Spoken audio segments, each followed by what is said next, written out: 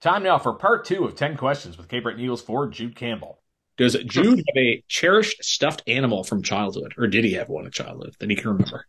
I did have one actually. It was like a bear. I got it when I was a kid, and I just stopped using it when I just grew up. But I still have it in my closet at home, and it's kind of something cool to have. And I'll probably pass it on to my kids too. So very good. What's the bear look like?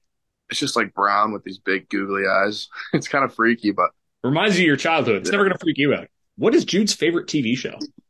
Probably Suits. What it's about? I know I've heard the name, but I can't remember what it's about. Just like a guy who didn't get into law school, and then he goes to the interview and he aces all the questions, and they hire him, but he didn't actually pass the law exam. Oh, be like a lawyer. So, but they hire him eventually, and he becomes this great lawyer and stuff. I'm sure there is relatability to stories like that in quote unquote real life. Does yeah. Jude Campbell have any close friends he made outside of hockey?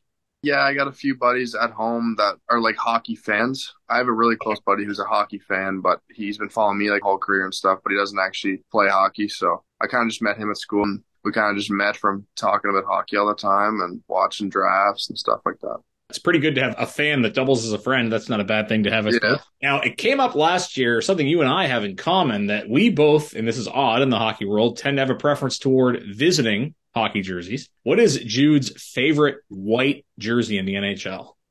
I like Boston's. You can't really beat Boston's. Their new jerseys too look pretty cool. So they got oh, like the, the gold the, trim on them. The hundred year ones. Yeah, yeah, yeah. And you're a Habs fan, right? Yeah. So there you go. No bias if a Habs no fan. No connection. No connection at all. But with the Eagles, you get used to the black and gold colors. So I, yeah, exactly. I do think Boston was pretty sleek with those 100 year jerseys for sure. According to Jude Campbell, what was the best rock song that came out in the 1980s? 1980s. Pretty sure it's from the 80s, but Lonely is the Night by Billy Squier. Probably. I'll check that. It we can do a fact check on that. We'll check that after. I think it could be 70s, but I feel like Billy Squier is all 80s. I don't know as much Billy Squier as I should. He's definitely got some good songs. Yeah. What is Jude's least favorite subject in school? Something he just doesn't like? Math. I don't got to do anymore. Psychology has a bit of math, but I just never really liked it growing up. You've probably heard me give the spiel about how guys usually like math because of their stats. So I always like when people give different answers, but I liked yeah. math growing up. And then once you get older, it gets kind of weird. What is a sport that you would like to try to play, but you've never had the chance to do? Probably football. It looks pretty cool. It's a really dangerous sport, but I think I'd be pretty good at it. Yeah, it's tough with football. Just you need so many people to play. So if you want to play basketball, you can just gather a couple buddies together and play, and yeah. it's, it's sort of the same. Can't really do that with football. I played flag football for a couple years, but I just wanted to tackle everyone, so I, I didn't keep playing. Oh, what position did you play? I was a safety.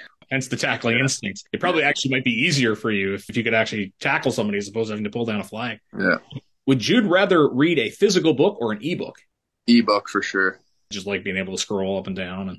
Yeah, I think some of the readers now they have it so the color contrast is pretty good, so it's a lot more. Yeah, some of the books they have the audio button where it reads to you, so I find that pretty. Oh, good. now do you read and have the audio coming at the same time?